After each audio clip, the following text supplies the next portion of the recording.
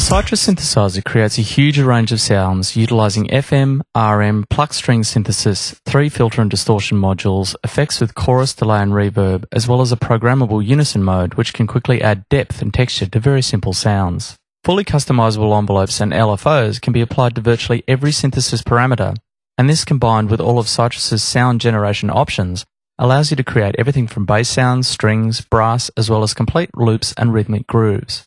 It's useful to scroll through the extensive preset list that comes with Sytrus to familiarize yourself with its sonic capabilities. Each component of the Sytrus interface is accessed via the set of tabs at the top of the window. Common to all windows is the modulation matrix. The modulation matrix allows you to quickly and easily define the interactions between the six sound sources, called operators, along with the routing through the filters, FX, and the final output of Sytrus. In FM speak, this is referred to as an algorithm. Traditionally, FM synthesis has been a rather off-puttingly complicated method of sound generation, but thankfully Sytrus simplifies the process to a marvelous degree while still being extremely flexible with its sound possibilities.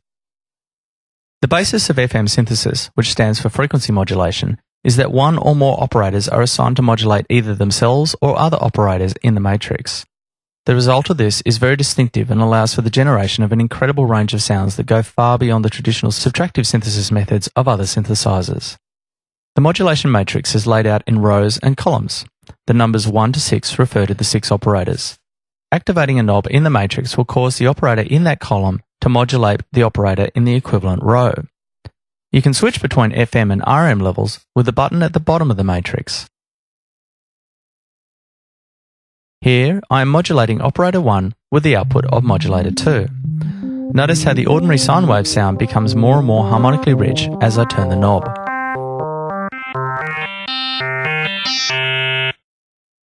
Pan knob will set the pan point for the particular operator.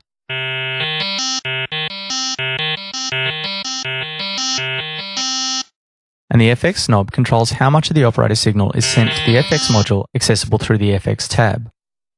The output knob controls how much of the operator signal is mixed with the final output signal.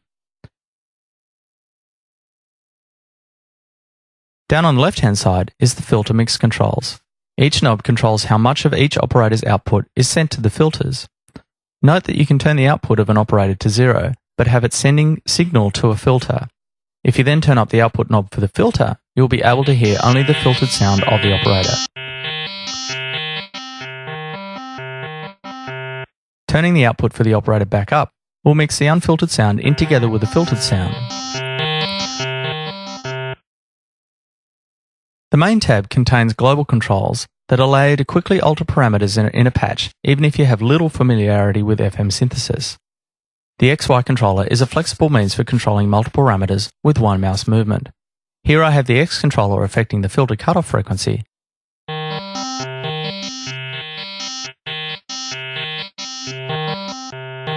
and the Y controller affecting the amount of modulation imposed on operator 1 by operator 2.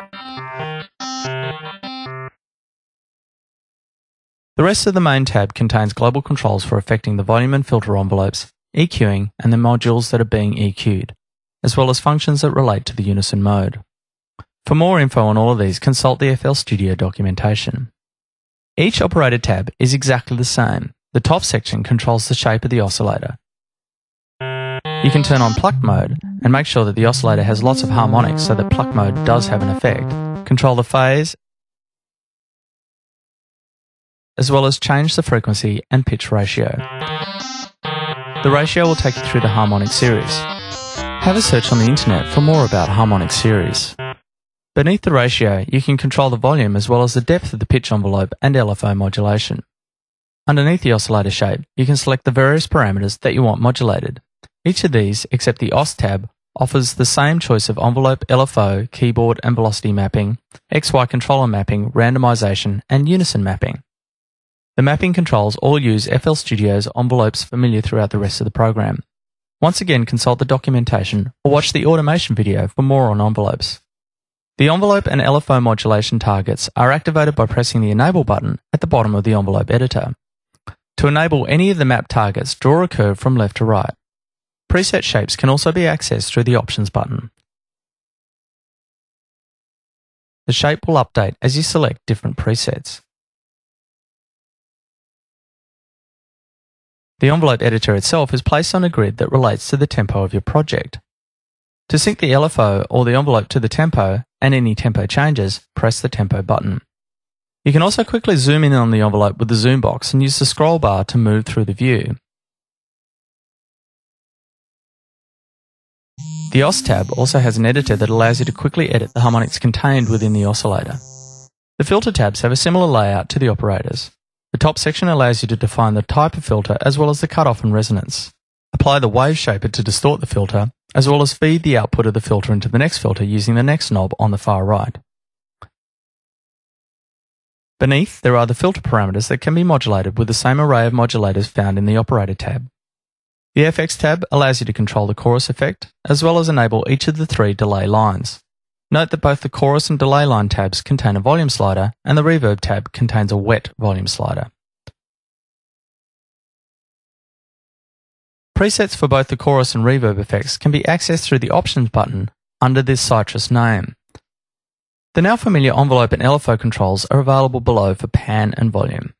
Throughout this tutorial, we have looked at Sytrus for its additive capabilities, but it is also a very capable subtractive synthesizer as well. So to demonstrate this, I'm going to start with the default Sytrus patch. At this point, the sound is just a sine wave and doesn't have much going for it frequency-wise. So if I go to operator 1, right click on the waveform display and select SAW, you can hear how much brighter the sound is. I'll do the same to operator 2 and adjust the detune slightly to thicken the sound up a little. And I'll just set it to about 2.01 to get us going. Next I'll need to route the output of oscillators 1 and 2 into the filter and I do that down in the Filter 1 Input Levels mixing strip.